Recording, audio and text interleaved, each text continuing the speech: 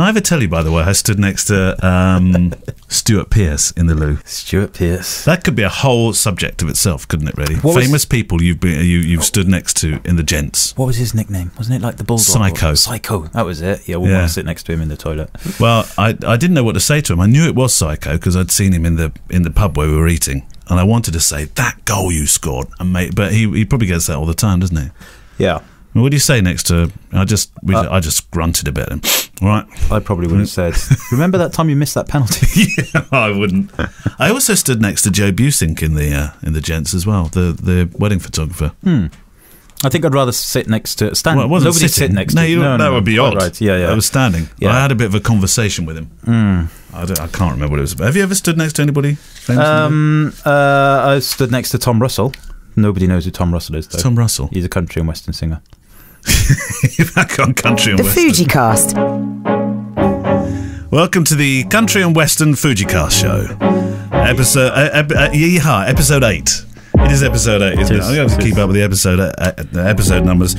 Um, thank you very much for your, your questions, as always. Um, if you send them in, please, it's to click at fujicast.co.uk. I didn't say that enough last week, and, and uh, questions are the lifeblood of the show. Absolutely. So you do need to Keep send them coming. in. Otherwise, it's going to be um, it's going to be an hour of us talking about famous people we've stood next to in the gents. so make sure you, you do send them in. Today, um, we've got a really really special um, interview, but. You recorded this years ago, didn't you? Yeah, long, long time ago. Long time ago. It was, well, it must be four, five years ago, maybe. I don't know. Really? So- I remember you going to record it. That can't be four years. Yeah. So uh, interestingly, the, we have this email somewhere, don't we? Yeah. Oh, let me, um, let me- just pop it up a second. I'll pop the email up. This is a professional um, podcasters There we we go. are. So um, I literally said to Neale last week that uh, I have rediscovered the audio interview I did with Robin Ravilious, who is James Ravilious's wife. right, yeah. And you know, James Ravilious is a uh, UK photographer. Many of you would have heard of him. Many of you will not have heard of him. Um, he is, he, unfortunately, he's dead now. But his, his black and white documentary photography Stunning. of North and North Devon life is amazing, and uh, I encourage everybody to, to check out the work. And the uh, the body of work that he's left behind behind is is, is a legacy and an archive. And literally, I, I mentioned to Neale that I had that, and uh, about five minutes later, serendipity on No, steroids. Know. Uh, Simon Pickard emailed with uh, a couple of other kind of questions, and, and part of it in his email was I've learned from Kevin's resource at f16.click that he interviewed Robin Ravilious. James's widow, back in 2014. How about that? Question mark. Hmm. I wondered if this might make an interesting segment, and so Today. I- I've dug it out. Yeah. I've found it. I've blown the cobwebs off it. um, and it's actually an interview I did for Professional Photographer magazine um, back in the day when I was writing a monthly column for them. Yeah. And uh, the magazine went belly up shortly after I recorded the interview, so it never got published. And um, So yeah, you, so- uh, as an audience on the FujiCast, are the first people to ever hear. Abs- world exclusive. It is. Yeah, world exclusive. So before we get to the interview, if you're unaware of James's stuff, uh, Leica shooter, beautiful photography, black and white, Mm. um, storyteller, documentarian. Great, love it. What was she like? Beautiful, a very very um, quiet, uh, unassuming lady. Their house uh, was, um, I mean, for me, bearing in mind, I've got all of the books. I've seen, you know, there was a uh, BBC documentary you're without about doubt a James. fan.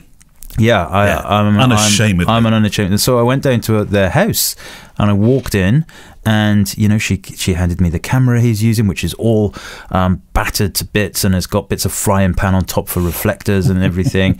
all of the prints that are scattered all over the house. The art. I sat in the armchair that he sat. I went into the room that he No did way. his printing in. Uh, she made me soup. Uh, you know, she was, I think the first thing she said to me was, "Would you like a cup of tea?" Uh, and Oh yeah, that's was- on the interview. Yeah, and, yeah, uh, and, I, I heard that. And Well, it's not on the interview; it's on the tape. it's uh, on the uh, it's yeah. on the recording, and I was like, mm, mm, this is you know this this this kind of stuff Yeah. does not happen to uh, to lads from Newport. You know, it's like a, a real real. And bearing in mind, this is four or five years ago, whatever. What did um, Simon said? 2014, so maybe four four years ago. Yeah, um, and yeah, I mean, she was beautiful, and I think subsequently she has written a biography of James since that review. Yeah. Um, and uh, I think that you know some of the other stuff that you know we've got a corner of England, um, the heart of the country, all of those things, an English eye Down the deep uh, down the lanes. deep lanes, and yeah. So Robin has written a book. Robin, the wife, has written a book called James Ravilious: A Life, um, and I actually don't have that, so I think I must get that. I, lo- I love what Simon says. He, he goes on in, in his question to you where, where he's suggesting that we have um, this on a future podcast, which is today. Um, he said, uh, My project for 2019 is to start to photograph as many scenes as possible that James Ravilious photographed during the years 73 to 89. Uh, not only to show how much has changed, but to celebrate how much has stayed the same. Yeah. That's a really nice concept. Yeah, yeah, yeah, yeah. Absolutely, really nice. Great idea. Good stuff. Thanks, Simon. So that's coming up in the show, right? You can go. You can go first with the questions then this week. Okay, questions, questions. Right, Albert, Albert Palmer, uh, fellow uh, wedding photographer. Very good one. Very, very, very good one. Uh, from my neck of the woods, in fact, I Hmm. think, kind of Bristol direction. Blah, blah, blah. You mentioned something, something, something. Um, I'd like to know your thoughts on whether you think there is a lower skill set required to photograph weddings now you use mirrorless cameras. Um, presumably, you being us, we, the, the industry. It's not accusational. Um, no, yeah. Uh, I also started around 10 years ago and have seen quite a shift in the technology. Whilst I use a different camera brand, I no longer use a lot of technical skills I learned when I started. With mirrorless, I don't need to expose as I can see the EVF. The camera focuses for me on the head, eye. I can even take 6, 10, 20 frames a second in silence and pick the best one, so I don't need to anticipate the moment. We have auto ISO, in camera stabilization, and so taking good photos is so much easier these days. Yeah, he's right. Absolutely right. However, what I would caveat that with is that, you know, the whole idea, uh, you, I personally think that I still need to know how to expose. Um, yes, I can see it in the EVF, and that will help me to get the exposure right, but I still need to understand that, you know, if I'm going into the darker areas, the ISO needs to change or shutter speed, blah, blah, blah, etc. Um, the camera focuses for me on the head eye. Mm, yeah, to a certain extent, although um, I think that Albert uses Sony. Uh, we don't have that ability. Well, actually, by the time this podcast comes out, we might have had the XT3 firmware update where you can select the faces in the autofocus tracking. Um, so depending on that, possibly we do have that. However, what I would say is I never ever use face or head detect uh, tracking when I'm shooting weddings because I, you know, I'm a focus recompose shooter and I, I need to have total control of, of what I'm doing at. Uh, Albert goes on to say he can shoot 6, 10, 20 frames per second in silence, pick the best one. Um, again, you know, there's absolutely nothing wrong with doing that. I don't do that. I, you know, I, I, I like to think that I think about each shot rather than you know, I'm not just I'm not saying that Albert is doing this. He, he, he quite obviously states that he could do that, not necessarily that he does do that. Um, but uh, you know, we Fujifilm shooters can shoot up to I don't know what is it, 18, 20, 24 frames per second. Yep. Um, and you know, for me, I kind of think personally, and I don't know what you think about this, that as a storyteller, I like to try and think of uh, you know, constructing a story um, through the empathy of the images rather than just shooting and hoping for the best. You know, Yeah. I often talk, and I, you know, I'm sure a lot of people have heard me blather on about this before, but you know, the the idea that of, uh, you know, I want my clients to to look back at the pictures in 20, 30 years time and and say, oh, do you remember when that happened? Rather than, do you remember when the photographer made that happen? Mm. Uh, and I think that comes down a little bit to this kind of shooting technique of, um, uh, you, you know, and, and I'm only It comes back to authenticity. yes and no. I, I mean, yes, I agree with you, but at the same time, I don't want to say that just because this is the way that I prefer to shoot, it's it's the right way. Yeah. You know, th- everybody does things differently. Yeah. Um, but for me, on the occasions in the past where I feel I feel like I've shot, uh, you know, aggressively through a particular moment. eh, Maybe it's just the way I look. Maybe it's my pointy eyebrows. I really don't know, but it affects the moment. Remember, you're only allowed to smile 35 times a month. as know, well. yeah, yeah. I've only got one left. That could affect Oh, it's how gone. people see. Oh, it's gone. That's it. That's it. Um, but yeah, so and, uh, but it does affect it. Uh, it people change. They, their uh, their mannerisms change. The moment disappears, and Hmm. you know I concentrate a lot on um, trying to get emotion in pictures, and I, I you know I'm confident in saying if I stood there and took 20 pictures of somebody you know having a delicate hug that moment would go away you know? You it would go away. And and the thought of that moment in history never ex- existed Yeah. because I went click click click click click click click click click. That that's just not good for me. Don, I remember seeing a film about Don McCullin and the way that he interacts with people when he's photographing on the uh, on the street, and he does actually ask permission uh, a lot of the time. Now that I can't imagine he would have been doing that for some of his uh, his conflict pictures. But he seems to me somebody who makes friends with the subjects that I don't mean literally invites No, them no. round to dinner. Yeah. But it makes friends with the subjects that he he photographs as as he moves along a street and through a scene. Oh yeah, I mean, from a street photographer. I mean, listen, we're, I'm talking about wedding photography here, and you know, I my very personal um, uh, take on my style of wedding photography is that it's not staged. It's can, Yeah. candid is an adjective. It's you know, it's either candid or it's not. You know, I try not within uh, an inch of my life to affect any moments to to you know to have anything. Um, uh, change because of my presence or my position or anything so uh, that's just the way I do But things. inevitably things will change because Of, you're there. of course, because I am there, you know, you only have to walk into a bridal prep room and, and things change. You know, the photographer. yeah, yeah, yeah, exactly. Um, but you know, when it comes to the actual uh, organic nature of the wedding, I am definitely not. I'm I'm allowing them. I hope to uh, you know to experience their wedding through pictures as it actually happened, Yeah. rather than any kind of diversion from that. No. That said, uh, Albert is absolutely right. It is easier. You know, cameras are cheaper, cameras are easier, software is easier to use, websites you can knock together in a couple of hours. Barriers to entry generally are easier. Um, but no saying that, Yeah. You know what? My car is better than the one I had in 1995, and I'm not. I don't feel guilty about that. That's a very good point. Actually, we're going to stick with weddings for this one from Mark Peterson. Loving the new podcast, guys, and the way it's not just Fuji stuff. Um, thank you. You've noticed that. I'm a committed Nikon Nikon user, uh, and you'll have to drag me kicking and screaming to a nasty end before I ever decide to change. So my question is more about photography than brand. What do you two do when you turn up to a wedding and you're just not feeling it? I've been shooting weddings for three years now, and I'm finding sometimes that the day is is just not right. The mood may be a bit quieter and the guests not very animated. What do you both do at those times?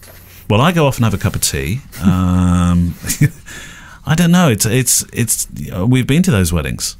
Yeah, of course. Like it's not what you see on um, uh, on blogs and websites and Instagram and everything is usually. Although I, I actually do try and blog every single wedding I photograph, but some of them are not as fizzy as um, um, That's a very know, diplomatic way um, of putting it.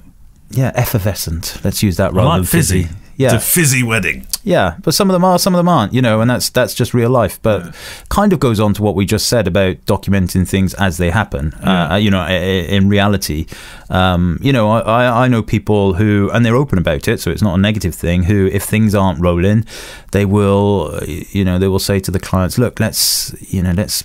Play a party game or let's do you know and, and you know and kind of do all that stuff and the clients are aware that's their their style then that's absolutely right i remember once being at a wedding and um uh, there was a couple of videographers, and um, they said, to, and they were they were good as gold throughout the day. You know, we had to, we, we worked really well together. And um, he said to me, "So what what are you going to do at the first dance?" I said, "What do you mean?" He said, uh, Was he asking you for a dance? "He said, he said." Hey, Uh, Kev, do you fancy a dance? he, he said, um, "Well, you know, when uh, when the because it was a summer wedding, right? So you know what happens in summer weddings? Do the first dance, And then everybody goes out- goes outside. outside again, yeah, right? yeah, he said, yeah. "What what do you do to stop everybody going outside?" Yeah. I was like, hmm, "Nothing, because I'll be going outside and getting in my car and going home anyway." So you know, once the first dance is done, he was like, "What?" Had you You- used up your 35 smiles? that was it. Well done and dusted. He said, um, "What? What? What? But surely, you- know, you you need to make people stay on the dance floor. Have you got a cannon, a confetti cannon, or something?" I was like, "No, no." He said, "Oh, okay." And I saw this little twinkle in his eye, and he went off. And then, uh, and he this, had one. he had a twinkle. No, he didn't have a cannon. He had uh, uh, no. Honestly, this is unbelievable. Um, the first dance finished. He ripped open his uh, blazer like Superman Oh, my word. on his blazer, he uh, uh, underneath his blazer, he had uh, three GoPro cameras strapped to his body, and he'd al- he'd arranged with the DJ to start playing some funky, jumpy, jumpy music. Yeah. Um, and and he was on the dance floor with these uh, three GoPros strapped to him. Dancing away like a complete and utter madman, Yeah. with uh, you know, with the hope that people would come onto the dance floor with him, which they did. In fairness Well, him. there was only two things going to happen there. Number one, everybody joined in. Number two, he looked like a. Yeah. both of those things happened. Um, but but no, honestly, in fairness to the guy, it worked. You know, it absolutely Right. worked. But I Have you thought about maybe taking on that, that approach? I actually couldn't believe what I was seeing. I seriously could not believe what I was seeing. Um, but the fact is, yeah, I mean, it happens, you know. And um, one of the things I do, by the way, is um, if things are running a bit slow, especially kind of after the speeches before the first dance, you know, there's there's often an hour or two of dead time. Um, I give myself something to look for. I give myself a theme, um, and you know, it could be very simple. It could be, I don't know, you know kids with glasses on or the color red or feet you know i once did a wedding where everybody sat around See, you laughed at me last week when I said I have on my list go and take a picture of old people, the oldest person. Yeah well I, My little reminder list. yeah i know but Or diptychs and triptychs. I, I, I did laugh, yeah, but Yeah, it's uh, you're doing the it's same. No, it is exactly the same thing, but it's just the way that you said old people, and I'm like, how do you qualify an old person? You know, but By the lines on their face. yeah, um, but yeah, no, I did a wedding once where everybody just sat around a table, a bar, yeah.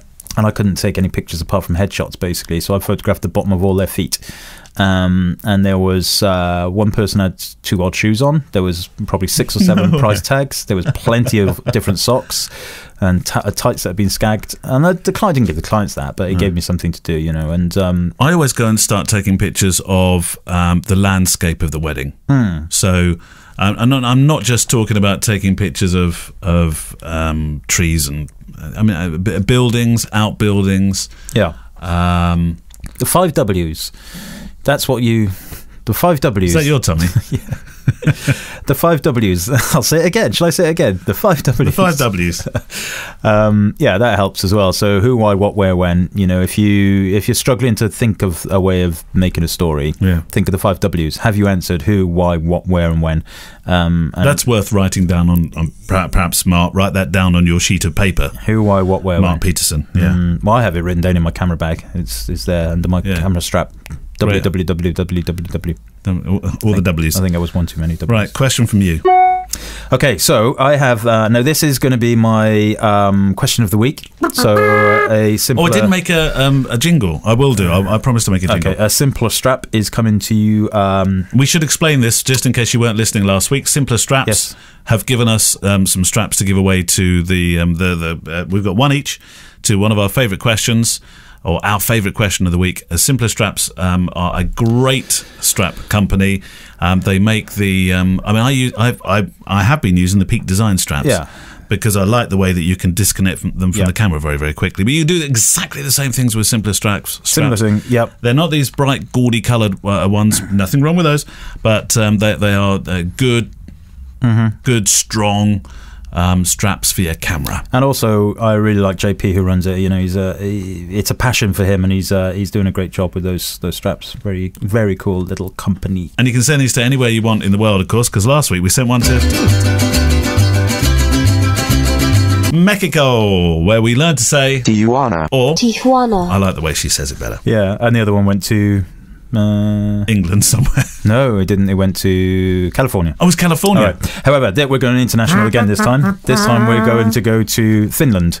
So I'm sorry, I'm sorry, JP, if you're I've listening to this. No, no idea what Finnish music would be. At uh, Simpler Straps HQ, he's probably thinking, "Oh my word, I'm sending them all around the world." uh, and so the question Well, it's a good thing because we're introducing simpler straps around the globe. absolutely, to- no, I don't know how you pronounce this. Tuomas Mikolanian, You made it sound like a New Yorker. Twamas. almost definitely pronounced incorrectly. Right. Spelt T U O M A S Twamas. Twamas? Twamas? mm, M I K K O L A I N E N. Can we have a pronunciation guide, please? Tijuana, Oh, she only does Tijuana. Tuomas Mikalainen. I'm going to go with that. Um, Finland, from Finland, yes. And it says, I have a question as I'm a person with Scandinavian personalities. Whatever that means, I don't know. I like Scandinavian people. I held myself back quite some time. I don't want to bother you guys, but then I thought, why not? There is an email address for a reason. By the way, this is the thing about Scandic people. Um, they are the most polite people on the planet. Is Scandic a real word? Scandic people, yeah. If you're from the Scandic region, Nordic? Nordic? Scandic. Hmm, Okay. Yeah, have I got that wrong? I don't know. I thought Sorry. Scandic was a lorry manufacturer. That's Scania. Oh yeah. Uh, so my question is, how do you build your confidence to be proud of your work, be confident to charge more, say no to gigs, and and the list goes on. You both seem honest, humble, and you seem to have your feet on the ground. I'm, I'm afraid that if I'm too confident, I will come across as an ass. No. Well, I can tell you, Thomas, that uh, you definitely won't come across as an ass. Um, and you know, the question just by asking that kind of question means that you have integrity and humbleness in your Humility. Scandic Humility. in your Scandic uh, nature. So, um, well, I don't know. How about you, Neale? Uh, how do you become? How do you have confidence in your work? Be proud of it. and Be confident to charge more or less. I Or- s- well, okay. I think this is a really interesting question, actually, Mm-hmm. despite all the frivolity and humour around it. That I spent the first five years of my photography career feeling that I was a bit of a visitor and a bit of a fraud, and that someday, somehow, I might get found out. Now, um, making pictures. If you if you think you can walk into a wedding and because I predominantly shoot weddings, and every single one is going to be an absolute winner, then you're you're you're you're just sorely mistaken. Who was it that said you'll probably only ever take a dozen or was it fifty great shots in your whole life? Famous photographer, so famous I can't remember who said it. Ansel Adams, wasn't it? Was it Ansel Adams? Was it Ansel? Wasn't Ansel Adams said you ten I think it was Salgado as well said something very maybe. very similar. But but it, I mean that's absolutely right. I mean if, if I look at my website, there are particular favourites that, that that that are evergreen for me, and um, I, I've spent my entire um, career trying not to repeat the evergreen shots, but that's what's in the back of my mind whenever I go and shoot a wedding. I'm thinking right. I remember how the light fell for so and so and so and so, and and, and I, I I kind of that that's become part of my act. I'm not sure if I'm answering this question very well. What was the? uh, I've gone I've gone off at a complete tangent. How do you build your confidence to be proud of your work, be confident to charge more, say no to gigs? Oh, it's such a difficult one, isn't it? Well, let me let me interject a little bit. Um, Because I'm struggling. yeah, uh, how do you build your confidence to to be proud of your work? And now I'm very happy to say that I am well, not happy to say, but I'm very comfortable in saying that I'm never proud of my work ever. Isn't that funny? Never. I look at it. And Honestly, you can say it hand on heart. honestly, um, uh, just like you just said, there are a handful of images that I look at and I uh, and I think, yeah, I really like. Those And by the way, I think for any clients that may be listening to this, no, yes, absolutely. I don't mean proud as in but not. I- not I don't mean. but I think that's, a, that's it's almost a good thing because you're you're striving to work harder and achieve more for every single picture you take. That's- and no artist is ever happy with him or herself. that yeah, that's what I mean, I suppose, and I don't mean. I suppose I'm kind of blending, blurring the, the boundaries between being uh, cocky mm-hmm. and being comfortable, mm. and this idea of being proud. You know, when you sit back and you kind of with a warm glow on your face and think, "Yeah, that's great. I'm going to stick that on Facebook and everybody's going to love it." Mm. Um, that never happens to me. What happens is I look at the pictures and I think the clients will love these. I'm very happy for the you know in the vast majority of the cases of the pictures I'm going to deliver to them. But then I struggle with the whole sticking them in the public space. Okay, Yeah. that's what I mean by the proudness. Yeah. So uh, Because often a picture it's it's not complementary. uh, Sorry, it, it's it's because there's no cohesive story. Because you're putting one image up from one moment, and and your audience are not seeing that all the moments that were around it that went to make up this stream of thinking. Yeah, and and and you know what? When you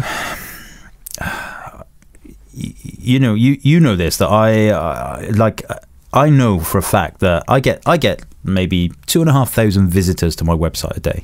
Right, believe it or not. Well, that trounces on mine. Uh, yeah, but a majority, a vast majority, are other photographers. Like a vast, vast majority. Um, and so every time, and that's that's of my own making. That's because of the Fujifilm stuff and you know Yeah. all of the other bits and pieces. I'm not I'm not complaining about that at all. But I know that every time I stick a blog post online, I watch my Google Analytics and the uh, the live uh, the live stats. It hits like three, four hundred in a couple of minutes. Wow. So I know that that's other photographers that are that are eyeballing That's that the physical amount of people just tapping onto one of your Yeah. posts, Yeah. one of your pieces. Absolutely, and you know, of course, I'd love them all to be wedding clients, but they're Hmm. not. Um, and and don't get me wrong, I'm not. You know, uh, but that's the point where I'm talking about being confident and proud, and, and that I struggle with that personally myself Hmm. quite quite substantially because it's a it's a bit like being in a goldfish bowl, isn't it? You know, and uh, you, you know, you have to draw a fine line between if I, you know. I still work on the assumption that you know I'm, I'm the content I'm putting on my website, my wedding website at least, is for my future clients rather than for other photographers. Um, but the fact is different. Simple as that. Um, you know, and the idea to be confident to charge more and stuff. It's not about confidence when it comes to charging. It's about real life business sit down, write down on a piece of paper how much money you need to live off, and work backwards. That's what I would do with the, the, the pricing. It, you know, if you've got a day job as well, it's slightly different, but you know, you you can't you can't get by. Uh, you know, if you need two thousand pound a wedding and you need to do two weddings a, a month, that's what you need. Then that you know. it's not about confidence it's about economics you know yeah. and and real life and you know ultimately that goes down to business. Self belief is also um, uh, closing yourself off from, from from the noise that's around you as well. And one of the problems with social media now, there's there's there's so much noise. Everything is awesome, isn't it? I've just made it awesome this and awesome that. So smashed it. Smashed so, it. Yeah, sometimes try not to read read too much of that. I heard a quote the uh, couple of weeks ago. I was at the FA conference. Um, I was being a, a voice um, for for the Football Association at their conference um, but there was a speaker on, and he quoted Abraham Lincoln, "Whatever you are, be a good one." And I thought that was a really good, good phrase. He also said, "Be a Willy Wonka." Um, That's really cool, though. You know, whatever you are, be a good one, and, and, yeah, absolutely, and work hard, and you know, don't look for shortcuts, and good things will come your way, definitely. But yeah. the, the, you know, the, uh, to to go back to Thomas's, I'm sure I'm saying it wrong, but to go back to his email, you know, you uh, I, I, once I, I, have another similar story actually. I know I'm rambling again. Um, I used to work at Microsoft a long, long time ago, and uh, we listened to a um, Bill Gates came over to do the the conference, the annual conference. They took us down to Brighton to the Grand Hotel, and yeah. Jack, Jack Dee was our entertainment, and he, wow. he went around all of the tables. I think I, I I think that's where I learned my grumpiness from, specifically Jack Dee. I love Jack I love him, yeah. yeah. And he came around and he sat with us all and, and, and, was in character as well. It was great. Anyway, Bill Gates. No, I think it's probably how he is. That's just how he is normally. yeah. I don't think it's necessarily Bill, in character. Bill Gates said, um, you know, how can you expect other people to be confident in yourself if you're not confident in yourself? Uh, sorry, mm. how can you expect other people to be confident in you if you're not confident in yourself? Mm. Um, which makes a lot of sense, right? Um, so you know, confidence, pride. I think pride, confidence, ego. You know, there's there's an element of, of overlap there, but you know, the the charging more that's purely economics. Business yeah. has to be. There is no point, you know, working your your nuts off and not earning enough money for it. Absolutely. Um, so there we go. So I, I, do have a question. I've got I've got um, I've, I've, introduced a new feature for a second. I don't think this is one we'll do every week, but I've got a smart aleck of the week or a smart house of the week. You ready? Stephen Vaughan, you get the round of applause. Um, love the show as always. Being the pedant that I am, though, um, oh, this is referring back to when we were talking about Fox Talbot. Do you remember? Yeah, we I got we got all our details wrong. Yeah. It's Lacock, not Lechlade. Yes. And I even live right next to Lacock. Yeah. And the OIS XF lenses are 18 to 55 mil, 1024, 50 to 140, and 80 mil macro. Also 100 to 400. But I don't think that you would, you would like to use that for run and gun. So you get smart ass. But um, just file that there. Now, we know Stephen. Obviously, he's he's one of the very capable admins on my ex weddings Facebook group. He is. So uh, uh, nice guy. We feel armed enough to be able to take the yes, Mickey as well. Sarah Watting, thank you for your question. Very simple one. This: What do you travel with when you uh, travel for weddings abroad um, on planes? Okay, um, I suppose you're talking about stripping down your kit. What, what do you what do you take with you? We well, if I'm going on an, before, didn't we? If I'm going on an aeroplane, I travel with some wine and some diazepam. Is that it? Yeah. And all the cameras go in the hold. Yeah, and then I just wake up the other side without all the worry in between. Um, in terms of, uh, I, I, do you know what the camera bag that I take to a wedding is exactly the same as the camera bag that I would take if I were traveling abroad. Um, and recently, in my trip to, to the Gambia, I I just took I took two. I think we we mentioned this a couple of weeks ago two XT3 bodies, a 56 mil, a 23, a 35. I think I took the 50 as well. Yes, I did. Took the 50 as well. 1024. Did I mention 1024? Definitely took that. Um, I didn't take a flash. I took my little Manfrotto Lumimuse 6 lamp one. Um, a couple of uh, mini clamps to put things on um, if I for, for shooting at cars, and I think that was about it really. Yeah, hmm. and, and you know No- and, and it all fitted in a bag, and it came to with a laptop in it as well, eight kilograms, eight point five kilograms. Same. Job done. Yeah, I, I take pretty much the same as I take to a normal wedding here, but you know, obviously, Fujifilm stuff's more light. Yeah. Yeah, I mean, I might take a few. I might not take the the the, the fourth spare camera. I might just take the, th- you know one extra spare camera just in case. But other than that, we're all good to go. Before the Robin Ravilious interview, um, then we come back and we're talking about uh, digital marketing this week. Um, we should do a, a few thank yous. Thank you very much for your uh, lovely five star reviews. If you are reviewing, it's always lovely. Obviously, you've got to be authentic and leave what you really feel. But for, for those of you that uh, do write some lovely stuff, we thought it'd be nice to at least say thank you to you. Um, so we have the self-indulgent minute. Now, um, Kev, I went first last week, and you were you, you thought that I read off far more than you did. So you. You ready? You can go first this week. You ready? Yeah, let's go. Self-indulgent minute. Minutes on the clock starts. Boom now. Okay, so this is G Archer. Thoroughly enjoyed the first episode. Good discussion and excellent production quality. That's Neale, by the way. Look forward to the next one. Just listen to the last three uh, back to back, which I think proves it's an enjoyable show. Uh, easy listening. Easy listening. It's like a country western show. Do do do. Look forward to hearing more. Um, that's from Alison E26, E26. Thank you very much. AC Slade. I love these names. AC Slade. These are great, Uh, I had Matt Jeff last week. Now I've got AC Slade. These guests, uh, sorry, these guys have a rare ability to share wisdom and keep it fresh to a new, new photographer. Uh, I'm a Fuji shooter, but don't be discouraged if you shoot another format. It's still a fascinating podcast. Okay, thank you, Christian Freegan. Uh, great topics, professionally and not least pro- professionality. Um, even if you can't pronounce stuff, and um, and not least great voices. I hope, but I'm confident that they'll keep it up. Go on, one Z- more. We got time for one Uh, more. ZKR Lab. Uh, I've been a follower of Kevin and Neale for a while, but fa- uh, found this amazing podcast through his YouTube channel. Go on, you can read I really it. recommend Start it. it so I they gave great, they give great advice uh, through an engaging conversational format. Thank you very much for your reviews. They're very much appreciated. and Um, do keep them coming. Yeah, we're gonna, we'll do our self-indulgent minute every single week. Um, right, Robin Ravilious. Just give us a little bit of a lowdown again. Uh, okay, so Robin is uh, James Ravilious's wife, um, and uh, he's uh, uh, was an amazing photographer. Sadly, no longer with us. Uh, documented North Devon life uh, when they moved from London, and I was lucky enough to go and interview Robin for Professional Photographer magazine back in the day. Uh, the article, the uh, the uh, the interview was never used, and um, because they went bust. Although I think they've re- resurfaced again since, and uh, so yeah, so this is we've uh, we've brushed the cobwebs off. This is going to be uh, a short excerpt, and um, we'll we'll produce a longer excerpt, which uh, we'll share on Breathe Pictures. Well, his dad was a watercolourist and wood engraver. Um, we've got some those little ones over there, for instance. Oh, right, yep. Uh, and he was also a war artist, official war artist. And he died in Iceland on active service. His plane was shot down, and nobody knows what happened. So James was three when that happened. Um, then his mother got cancer when he was about 10 and died when he was 11. He So he was sort of in the wilderness really for quite a long time.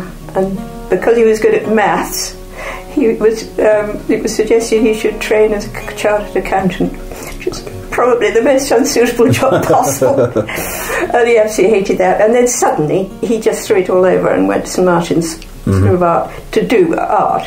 But he, he was sort of trying different si- si- styles and not happy with it. He always felt his father's work was overshadowing him. You know, anything he did, he, he would think, "Oh, that's too like Eric."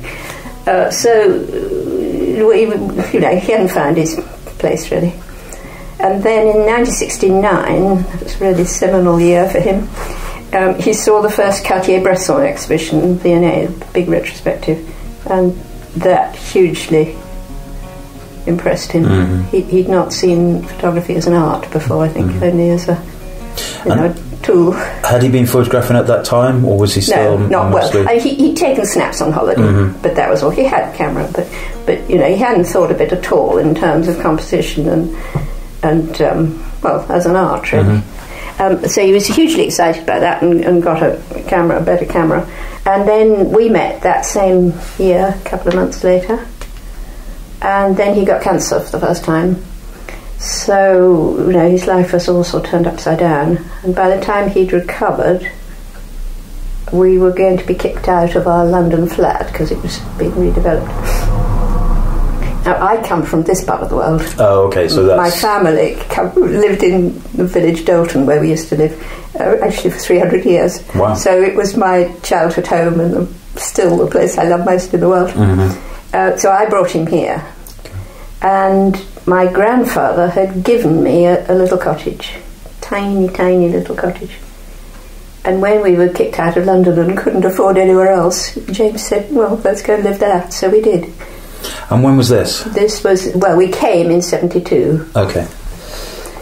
but um, he had no job. Mm-hmm. He hoped to find teaching, art teaching, and he went to the next door um, arts centre, the Beaford Centre, which had been started up by Dartington Trust, you know, and uh, hoping that they would give him some art teaching. But instead, the founder, John Lane, offered him some photography work. John had had this idea of the Beaford Archive as a means of recording this particular world, really, which was then even more old fashioned than it is now. Um, and John really sort of appreciated how much it was sort of enshrining British country traditions, really. Yeah. Uh, but obviously was going to change rapidly very soon, so he wanted it recorded. And he'd had a photographer doing it, actually Roger Deakin, you know, the cinematographer. He'd done a bit, a couple of years, but he'd just gone. And so John offered it to James. Um, James had absolutely no training for photography at all. John didn't seem to think that mattered. And so off he went. Um, and he did it for 17 years. Madly, obsessively, yeah. um, and beautifully. dawn till dusk. Well, um, as a kind of side, the um, you mentioned he um, went to the Bresson exhibition, and that was kind of his galvanising moment. Well, um, for me, it was um, seeing the film about James on, um, I think it was BBC Four or something Yes. like that. He had such an affection for the area and the people within it. Um, Yet, uh, which I didn't know, but you're the person who was from this area. Yes. So, how did the locals, how did the farming community, how did they react to him initially and ongoing? Well, you see, I was able to give him a sort of entree because he started with the people that I'd known from childhood. So they sort of welcomed him as part of the family in a way. Uh, so it spread out from there, I would say. But it, it was also James as a person. He was just incredibly good at chatting people up. Mhm. Um, you know, he'd, he'd accost a farmer doing something in a field, and, and an hour later they'd be friends. Great. That's just how he was. And he would he would literally get up in the morning, first light, and off he would go, and just come back at, at dusk yeah. with rolls of films. Yeah. that, that, I mean, that that was one of his ways. He, he would look out for things. You know, we'd read the local papers if if there was a, a fair or a sports day or something. He'd follow it up. And as he began to do the work, people got to know he was doing it and, and would you know ring him up and say, um, "We're about to start lambing," or or Yeah. we're uh, making cider with an old press, that kind of thing. Yeah. But mostly, he just set out and hoped to find something. I asked somebody a couple of weeks ago to um, a a few photographers. I said to them, "Right, I'm going to see um, Robin. Give me one word that describes James." Now, these people all know James' work, but have never obviously met him. And one word that came up quite often was quiet. I think from the way that he tells his stories, his stories are beautifully quiet. They Yes. don't need any narrative because all of the narrative is in the, the picture. Um, yes, it's quite a good word. and I wonder if that it, was he like that in real life? oh, Uh, no, he was, he was a talker. I, I, I don't mean that he was sort of loud and rebelliant, but he was a he was definitely a talker. He talked all the time, but he talked to anybody he met, yeah, and he certainly talked to his subjects while he was taking, uh, and that's why those pictures are so relaxed because. Um, he was chatting away, taking an interest, and, and they didn't actually know when he was taking the picture. I don't think, yeah. because you know the Leica's very very quiet. Did they, uh, you know, request to see the prints, and did they come and have a look at them? And did he give prints to people? He sometimes gave prints to people. Uh, he couldn't really give it to everybody. No, of course. Uh, but he'd go back and show them what he'd taken. Um, and he always invited them to exhibitions. When we had book launches, we invited the people in the books, and they came. You mentioned that some of these, uh, the characters, some of the subjects are still around. do you see them? Do you chat to them? Do you do, visit yes, them? yes. Um, from time to time, certainly. I keep up with several of them. So you mentioned um, his cameras were Leicas. Yes. Well, Always- to begin with, uh, the, the, the archive was done on a Leica, Uh-huh. uh, but he, he went into plate cameras later on as well. Okay. But not for the archive. No. Okay. I can show you the Leica if you want to see. Oh, that would be wonderful. Yeah, I'll absolutely. It's worth seeing because it's very um, idiosyncratic. This is an M3. Hmm. And he started out with what were then modern modern lenses. Wonderful. And then these are the, the strange modifications he did. Um, Uh, yes, I read about this. So he was he was modifying the lights, the shades themselves, and so as to be able to do contre-jour work. Uh, unfortunately, they've got wrinkled with age, so they look ridiculous, but of course they were quite sharp. So these are the, the old lenses, pre-war, uh, that he came back to. To begin with, he was using modern lenses, some actors and things, and they were coated and, and much too harsh a contrast, he felt. So after a lot of research, he found pre-war ones that weren't so that's El- Elmar's and Hektor's. But the other thing that is um, auxiliary viewfinder. Are you familiar with the VU? no. Little gizmo. Oh, okay. So he would put that on And the that top. slots on. yeah. And it, it gives you, hmm well, for one thing, it, it's a much clearer image, I gather, because it doesn't have all the lines and things on it. Yeah. But, but it also gives you, uh, people say it's like a, an artist standing back from his easel. gives you an idea of the picture more Mm. as a whole, Yeah. Yeah. um, which obviously helped him with his composition. Mm, absolutely. It's an amazing thing that he did. Of course, there's you know there has to be economical rewards as well, but in, just in terms of you know the posterity of the of the area, I think it's amazing. I mean, But pictures I like think, that, yeah, incredible. it's it's the depth of coverage I think that makes it quite unique. Um, because obviously there have been other documentary projects in rural areas, but not 17 year old, 17 year long run. Yeah. And also, he did this other thing of copying old photos. I don't know if you knew about that. yeah. Uh, When he was out and about, he discovered that, that people had these boxes of old photos, you know, from the 1900s, Oh, okay. of the same places Wow. and the same people in some cases. And um, he added that as a second string. He borrowed them and copied them. Didn't Okay. keep them, he just copied them. Yeah, sure. Yeah. Um, so the comparisons are absolutely fascinating.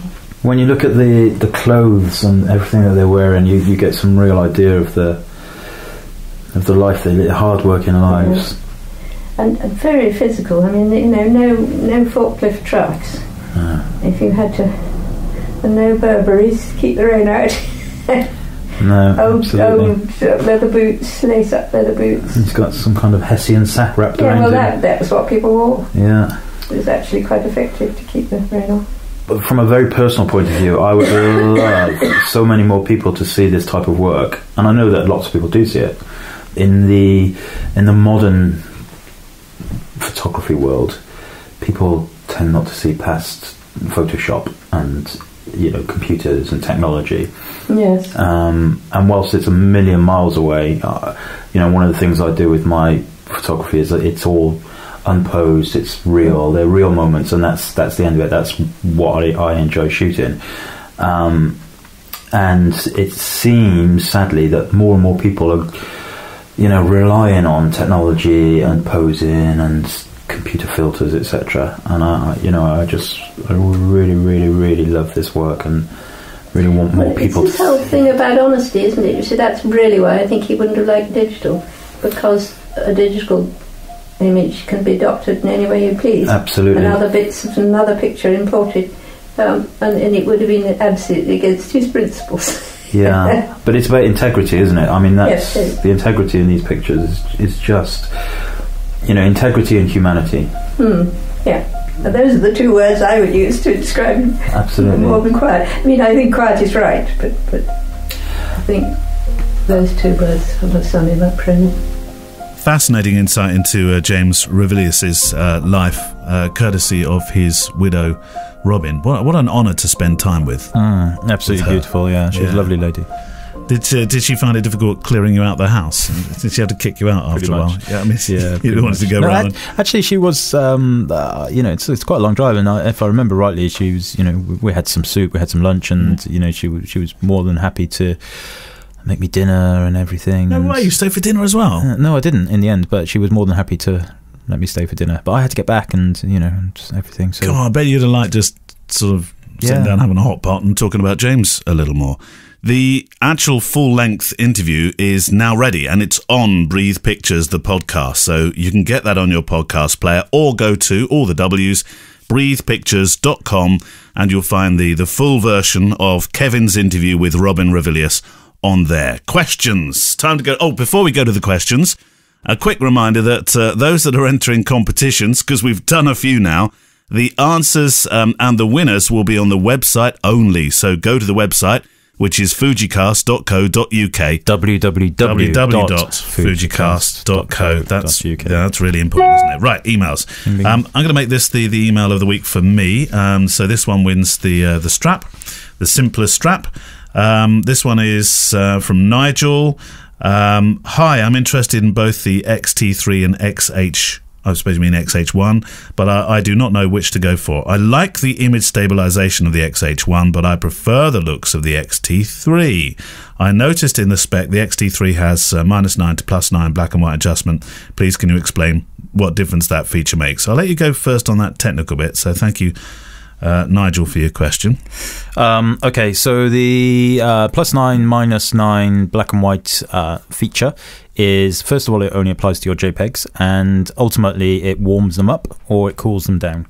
Um, mm, I've been asking for something like this for a long time because you know I, I, I warm up a lot of my, my black and whites, and they've delivered, Yeah. and um, which is great. I haven't And used that feature yet, and it's a really good feature, isn't it's it? really nice. It's very, it's quite aggressive at the higher end. Yeah. Um, so plus nine is basically orange. Right, Um, okay. minus nine is basically blue.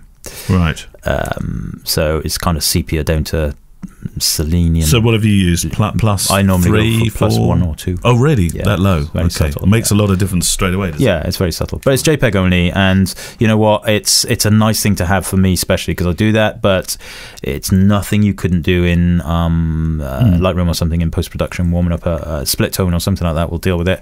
Um, so yeah, if that's that's it. Nigel, for me, the choice between XT3 and XH1 would come down to whether you think the image um, stabilization is important. If IBIS is important to you, then it's got to be the XH1. But that would, for me, be the only reason you would possibly want to buy this camera. Or maybe if you like the grip, some people like like the grip of the XH1 a bit more, don't they? Yeah, I A bit think more substantial, I suppose. I think Bit- for the people- slightly heavier, not much. people who you know wanted a DSLR style camera, the XH1 is good for them. Yeah, for sure. Yeah, but but if you're looking at um, the the internal workings of the camera, it's got to be the XT3 romping home all the way, isn't it?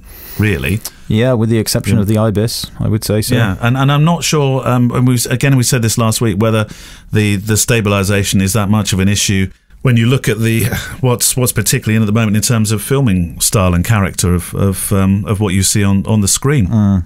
On the small screen and the big screen, in that things are a lot more shaky, aren't they? I use um, uh, I've, I've thought of the. Do you remember I talked about the steering wheel?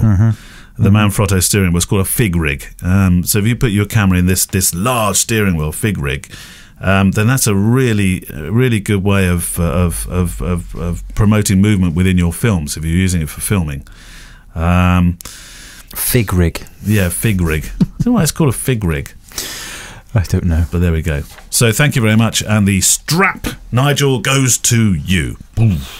Um, this week we're talking a little bit about uh, digital marketing. Um, you used to run SEO courses. You don't do them so much, but you still do workshops on them and one-to-ones from from time to time, don't you? Yeah, yeah, essentially. But um, I mean, my background originally, before I became a photographer, was in online marketing and websites and everything. And and of course, that was a long time ago, and it's changed dramatically since. But the fact is.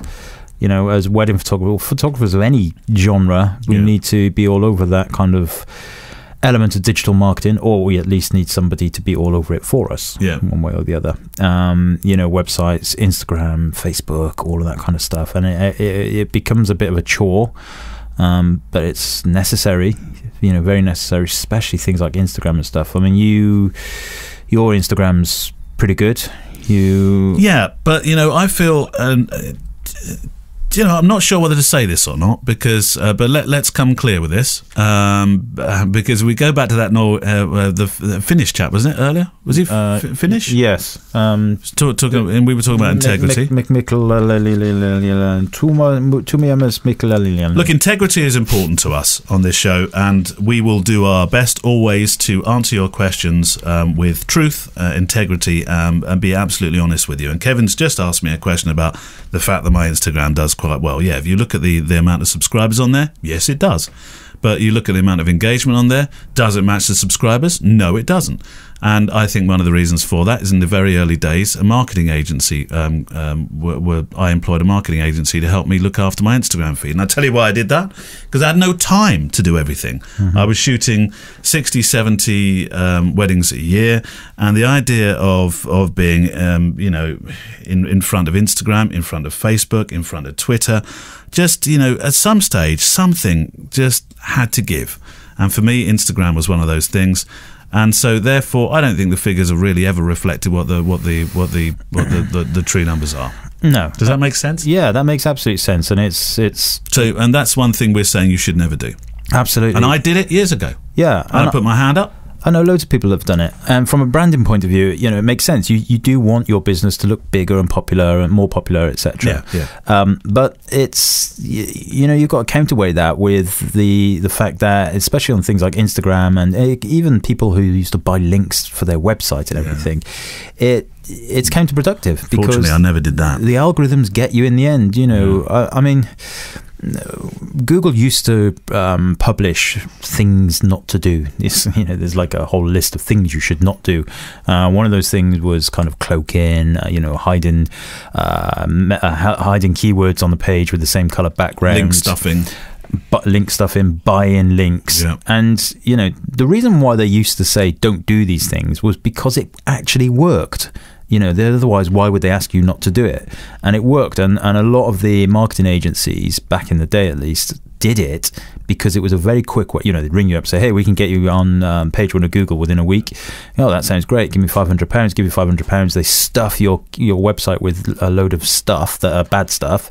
It gets to page one on Google. They run off with your, one, your £500, and then Google finally re-index and you, you, you, know, you get penalized. And, and like I said, the reason why Google uh, said don't do these things was because it was working. And they always said, way, way back in the day, that we are migrate we are making the algorithm to be very very capable. And if you keep doing these things you, you know you will be penalized eventually. And they had penguin updates and panda updates and then they you know then then they started doing the link disavow or the opportunity to to check your backlinks and make sure they're not stuffed or um, purchased or negative links um, you know and it's caught a lot of people I know uh, well I, I could name three wedding photographers who basically cheated their way up the rankings and then ended up going out of business because they Wow. their website just got No deleted Yeah. like literally overnight boom No. gone Switched off. yeah, so you know the message on, on that is you know just play by the rules. Be uh, yeah, we we say it uh, so many times. Just honestly work hard. You know uh, the simple thing with the website and Instagram. Uh, Authentic content, original content, regular content. You know, don't especially when it comes to the, you know how many times have we seen blog posts where it's it's clearly written for Google. You know, Mm. um, don't just just write it for the viewer, the human. It, it, treat Google as another human with there- respect. is on the Instagram um, topic, is there something to be said for sticking very rigidly to to a theme rather than okay, I'll put a few pictures up of the kids, then I'll put some pictures up of weddings, then I'll have a black and white, then I'll have a full color, then I'll have a portrait, then I'll have a reporta- a reportage picture. Well, put it this way: if uh, if I were Coca Cola, then I would be very rigid with my uh, content. However, I'm not Coca Cola. I'm a little bloke that photographs weddings and people that want wedding photographers like personality and, and to understand who's working for them and all that kind of stuff. So, you know, I'm happy to stick pictures of the, the kids and stuff Yeah. occasionally, Yeah. not all the time. Um, and in fact, the pictures of the dogs and the kids usually get more likes. um, but yeah, I think you know, just be just have it as a personality. You know, the one of the one of the things that people often get wrong, I think, on Instagram is, uh, especially on Instagram, is not you know they they replace the word social in social media with a guerrilla marketing. Like social, the word social is there for a reason. It should be social. It should be social engagement. It should be uh, you know interacting. Uh, you know they sticking a, a picture up and then sticking 50 hashtags to me when a client sees that you know is going to look at that and think well, I don't you know because they don't understand about marketing and stuff or what you're trying to do they just see noise noise noise noise noise um, you know keep be, be sensible with the hashtags be conversational with the, the content you put on there ask questions answer the questions that will drive traffic to the post and and you know therefore be a conduit to the website And, and what about text on Instagram posts? Now, my, my cousin, um, my cousin Vicky, sounds like the start of a song, doesn't it? My cousin Vicky. What was that song? What was that? My cousin. Is it country and western? No, it was not country and western. Don't know then. No, mind. Okay. Um, my cuz, my cuz, uh, Vicky has a really successful um, Instagram channel, which is built from zero to I don't know where it is now, but it's tens and tens of thousands. It's called in no particular order, Inpo and she's charac- she, all her she's characterized all, all her family. So there's Mr. Impo, and then there's the little Impos to go with it. Brilliant. Sounds like something of a Willy Wonka um, film. But um, she she writes huge long pieces to go with with each of her pictures, talking about her life. Um, she talks a lot about um, being um, larger size. And to her credit, that's that's done an awful lot of good for her. Absolutely. Um, so, do we have to write diatribes along with our Instagram not not diatribes, but if you enjoy writing about your pictures and you enjoy enjoy um, communicating with the people that are enjoying your pictures, then then do that. I always write um, usually two or three paragraphs. Um, it's not just remember, like I said, it's remember the word social. yeah. Okay, don't lose fact don't lose sight of the fact that it's social media, and that does not mean one way. Yeah. So one way aggressive marketing is advertising. Okay, there's a difference between advertising and social media. So uh, I think Impo, you called it Inpo, I N, PO in no particular order. in no particular order. Yeah. that sounds great. And you know, you the the thing about Instagram is that often people just scroll up their feed and they double tap and you like something or other. They're not necessarily going to read the the things. However, on you know, I I when I put stuff on mine, I know people read it because they answer, they reply to things that I've written in the text. Um, you know, and Instagram undoubtedly kind of like the fact that you are interacting, you Yeah. know, without a doubt. Oh, that's really important. Actually, getting back to people, isn't Yeah, it? yeah, I, yeah. I, I didn't get back to people at all. I was thinking, oh, it's enough with the email and the Facebook and Mm. the Twitter, and no more. But I, I, I try and get back to every single. But the algorithms will be all over that as well. So you know, just simply replying with a, a smiley face or a, you know whatever isn't going to cut it. You know, No. remember the, the these algorithms are now are so sophisticated. Do algorithms take note of, of comments? you can't. I would imagine so. Yeah, so? yeah. I mean, I don't know for Oh, sure. I think okay. the, the Google algorithms have changed substantially, but it's it's going to be based on the same kind of principles. And Yeah. absolutely, the content, the textual content, the message, the uh, the organic nature of it is super important. You know. Okay, so that that's Instagram. What about YouTube? How important is YouTube in all this? Well, YouTube is uh, it's the second I think after Google itself is the second most popular search Yeah. platform on the planet. Um, however, I, I mean, you and I have spoke about this before. You know, uh, using YouTube as a way of marketing towards wedding clients. Yes. And I tried it. I set up a second, a separate wed, um, YouTube channel, which was going to be just my photo films Yeah. and you know with a view to thinking that that clients will go to that but when i was looking at the analytics for that channel nobody seemed to go to google and type in things like wedding photos at such and such a venue Yeah. Uh, sorry not google uh, YouTube. YouTube. nobody is going to go to youtube or nobody has been going to youtube and typing in things like wedding photographer at Wasing Park, for example. no, no. What they type into things in YouTube is, you know, uh, how do I fix my boiler? Um, what's the difference between a Sony RX whatever and a Fujifilm X-T3? It's a very very different interface, I think, um, and certainly that's what I've seen. However, That said, I have definitely had bookings, wedding bookings, from people who have stumbled across my channel. Yeah. Um, and often, not often, but some of them have been wedding photographers themselves. But you know, it, it it's there, it's in the mix. But I, I feel, I don't know. I mean, we should ask the listeners this: How many people would, uh, you know, you, do you think that people would go to YouTube to look for something as personal as that? You know, they go for reviews Yeah. and they go for technical stuff and they go for entertainment. Are they likely to go to YouTube and search for A wedding photographer. wedding No, photographers? maybe not. You know, I think it's a different dynamic. Do you think they might search for wedding ideas? Yeah, wedding ideas, um, that kind of stuff for sure. Let's see what comes up if I if I wedding ideas. See which suggestions come up. Seventeen awesome wedding ideas. Well, Sorry, I can't use the word Look, awesome. When interestingly, when you typed in wedding idea, as soon as you started typing, it comes up Yeah. in the in the search box with um, the most searched for yeah, things. Look at that wedding, wedding ideas, ideas on a budget. on a budget. Yeah. Wedding ideas for reception. Wedding ideas direct de- decorations. Decorations. Wedding ideas for ceremony. So let's type in wedding P. Okay, so wedding photography. wedding photo wedding P H O Let's see what photography animation T- is, is top of the moment. Wedding photography animation is top. Then we do have wedding photography tips, tutorial, poses. These are what other photographers are searching for. Yeah. Um, so these are more for photographers than ever they are for, Absolutely. for brides and grooms. Yeah, so these are search predictions based and, and actually the same thing's true in Google. If you go to google.co.uk or google.com and you just start typing in, Yeah. It's going to give you the, um, the thing that most people search for. So if, for example, you're doing a blog post about a wedding venue Yeah. and you type in, uh, let's say, Wasing Park, um, you know, you type in Wasing Park space, then what it's going to predict for you is the is the top search terms. Yeah. So it could be prices or it could be Yeah. mm, you know, fares, whatever. Um, so you can use that to, to kind of indicate to look at what people are searching for. So in, in terms of YouTube, then no Facebook.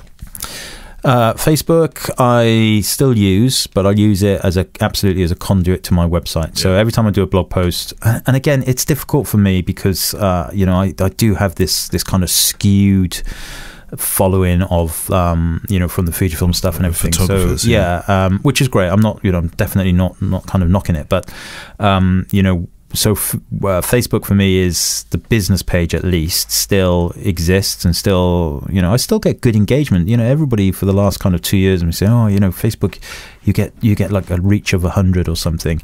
Um, and again I feel that that's possibly the ones that have tried to mismanage the Facebook content perhaps. Have you noticed how people are putting more films on Facebook and making it far more personal? Well, what Facebook did last year was, you know, up until then you could upload a link to YouTube and or Vimeo, and it would play the YouTube or video, uh, Vimeo uh, video in Facebook. That's not easy to say that. Um, but now they to discourage you from doing that no longer happens. So it, it will create a link that you then have to go through to YouTube to play it. So what they want is for you to upload your video to to Facebook itself. But the Um, quality is always not as good, is it? it's not as bad as it used to be Is because they, they've got this idea of Facebook TV coming up now, haven't they? And Ah, yeah. they've already, in I think certainly in America, they are, um, you know, they're they're premiering films Mm. and sports events on Facebook. You know, kind of trying to hit the Netflix market. So um, yeah, well, you know, whatever. I think Facebook personally is still very viable. Um, it works. I still get good reach on my uh, on posts that I'm not sponsoring. I'm not kind of promoting uh, financially. Um, it always drives good footfall to my website, but with that little caveat that I'm not sure how many of those are uh, are photographers or not. Um, Okay, uh, Facebook, Twitter, Twitter. I struggle with Twitter in terms of of how it works with my business.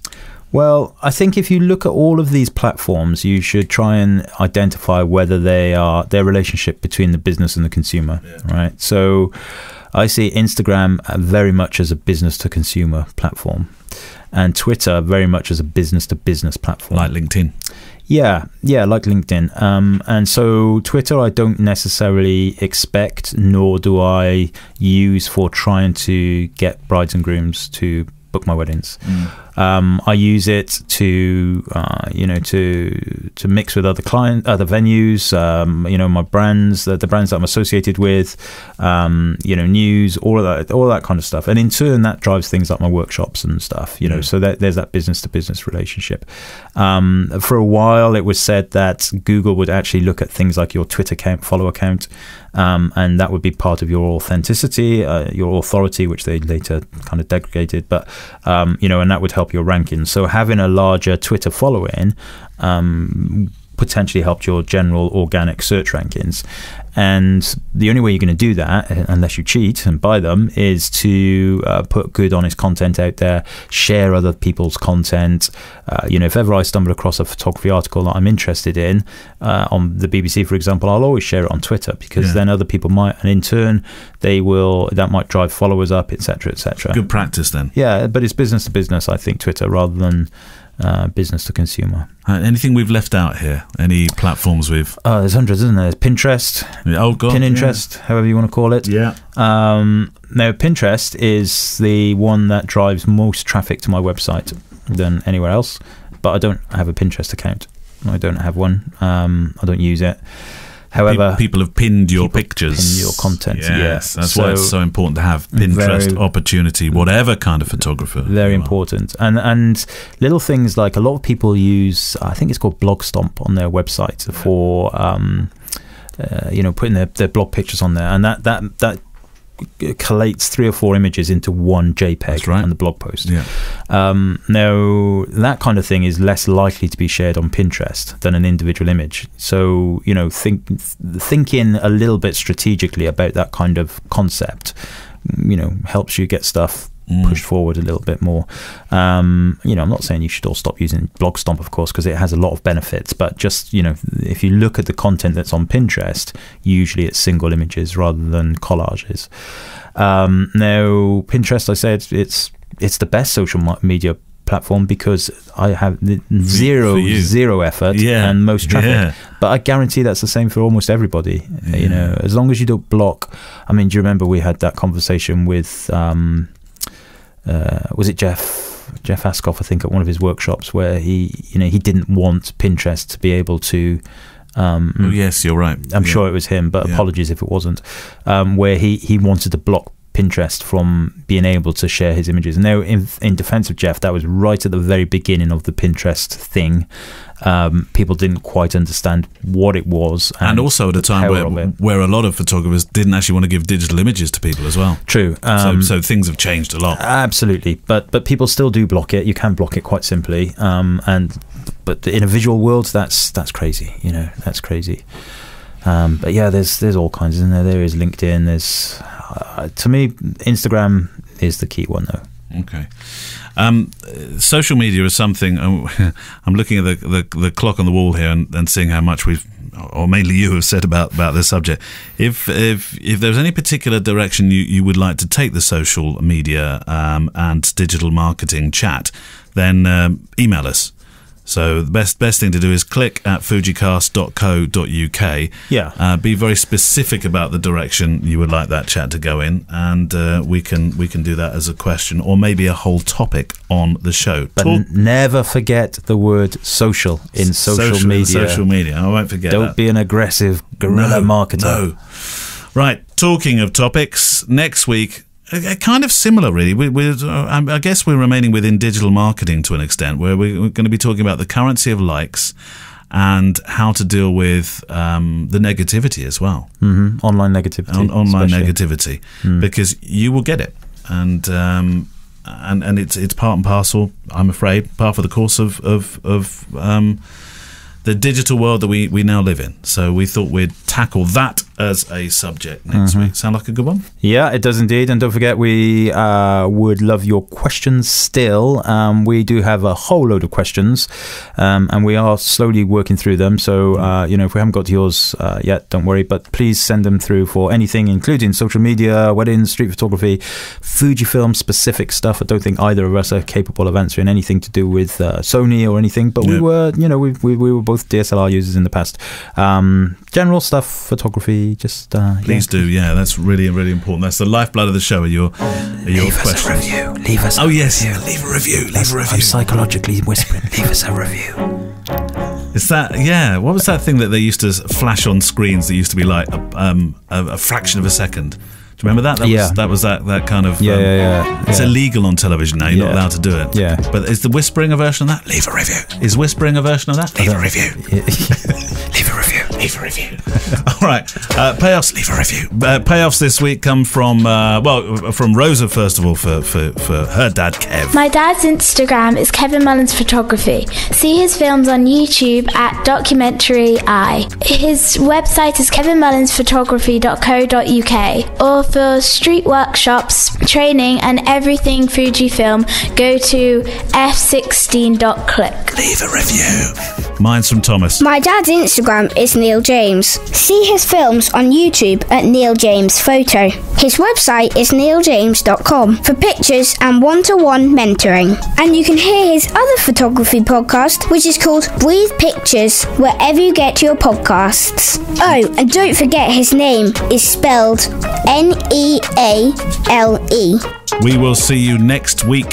Thank you very And much. thank you so much to Simpler Straps for their support. Oh yes, simpler straps. Leave a review. Leave a review. Leave a review. Leave a review. Leave a review.